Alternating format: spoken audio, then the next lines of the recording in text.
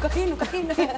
Oye, chuladas, os traigo una preguntita a ver si no es difícil. ¿En qué creéis que se parece Lionel Messi a Lalo Carrillo? El talento. Que no, to- que no toca a nadie en las fotos. Que los dos son güeros.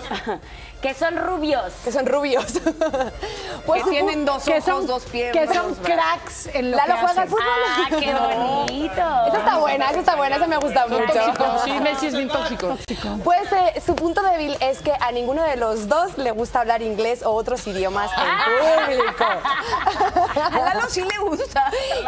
No puede, Lalo, pero puedes sí le defender. gusta. Al que le gusta, le gusta. Y es que a Lionel Messi en varias ocasiones se le ha pedido que hablara en- en- principalmente en inglés y siempre se ha negado. Pues sí. Vamos a Está ver bien. algunas ocasiones en las que esto ha sucedido con Lionel Messi y que, pues, obviamente ha dicho, no, yo... Dicen taper. Vale. El taper. Verlo. Taper. Rugby. como hola, that's chino. Bueno, en español.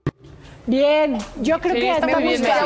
Perfecto. Me parece muy bien, la Es verdad. que luego Muy bien. haces el ridículo nada más para ser como one time front y la verdad es que allá deben decir, Y oye, aparte grosera. tenemos que decir que este idioma es muy, muy bonito y cada vez somos muchas personas más que hablan el habla hispana, ¿no? Pero Pero ¿cómo, habla. cómo están los, per- los periodistas ahí Chingando. intentándolo, intentando, ching, ching, para ver si sacan la grasejada?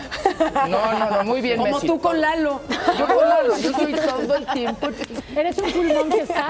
Ya viste, Lalo, ya puedes solo contestar no, no, La gracias. onda yo no quería meterme, pero gracias, güerita, ¿eh? Te vamos, te, te- que- Dile que te adiósito, quiero, también te quiero, ¿eh? Güerita, para Thank you, Diego. No, uy, qué guay. Uy, qué guay. Ay, qué guay. Huele a venganza esta. Pero bueno, ahí no, que, ahí no termina todo porque el ahora campeón del mundo y múltiple ganador del Balón de Oro vive en Miami.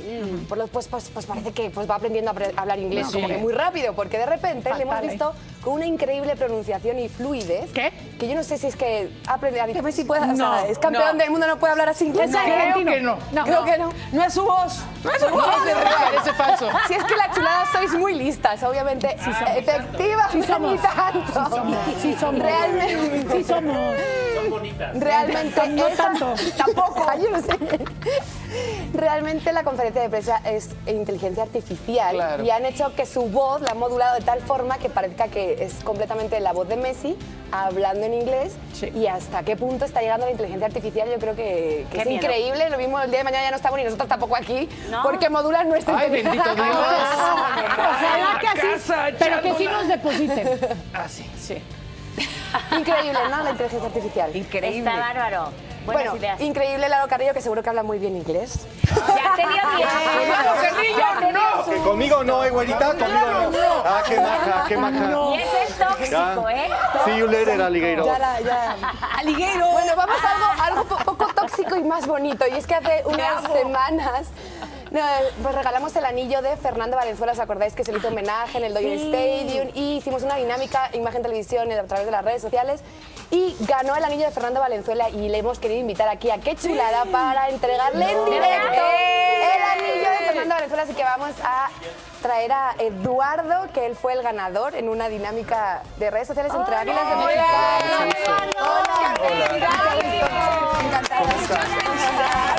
Gracias. Muchas felicidades. Y pues aquí tenemos el anillo. Yo creo que se lo voy a pasar El primero a momento la en que chulada, Sandra le entrega el anillo es muy cómodo. El anillo. Sí. Yo entregando anillos ya. Sí, tú, muy bien. Pero quiero que lo veáis, así que lo voy a ir pasando para que también vosotras Lo manoseemos antes que él. Porque es un muy bonito, un muy, muy buen recuerdo. De le tu cuentes tú mano. a las, a las chuladas por qué querías ganarte tú el anillo de Fernando Valenzuela.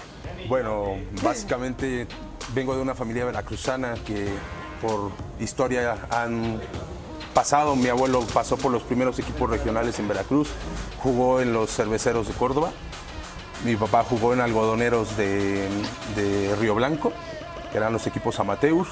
Y bueno, eh, con el paso de los años me explicaron toda la historia de Fernando Valenzuela. Actualmente todos en casa somos beisboleros, vivimos la pasión, a más no poder. Pues qué Pues aquí tienes tu ¿Qué anillo. mejor. ¡Qué bien! Felicidades.